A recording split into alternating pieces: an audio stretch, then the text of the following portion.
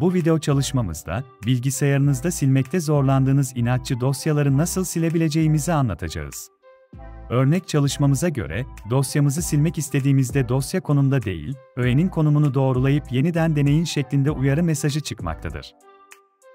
Bu tarz silinmeyen dosyaları silmek için, bir GitHub projesi olan ve ücretsiz olarak dağıtılan Killfiles programını kullanacağız. İlk adım olarak programımızı bu linkten indirelim. İndirme linkini video açıklamasına da ekledim, oradan da ulaşabilirsiniz.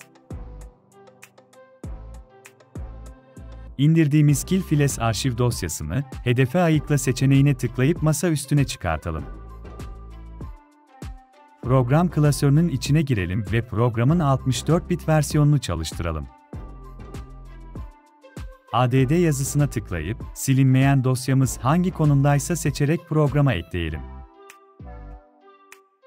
Benim dosyam, masa üstünde bu klasörün içinde olduğu için içine girip silinecek dosyamı ekliyorum. Buraya birden çok dosyada ekleyebilir ve toplu silme işlemi de yapabilirsiniz. Son adım olarak, programın sağ alt köşesinde yer alan Execute seçeneğine tıklıyoruz ve silme işlemini onaylıyoruz. Silme işleminin tamamlanabilmesi için bilgisayarımızı yeniden başlatıyoruz. Artık silinmeyen dosyamız silinmiş ve klasör içeriğimizin boş olduğunu göreceksiniz. Başka bir bilgisayar ipuçları videosunda görüşmek üzere. Video çalışmamızı beğenerek kanalımıza abone olunuz.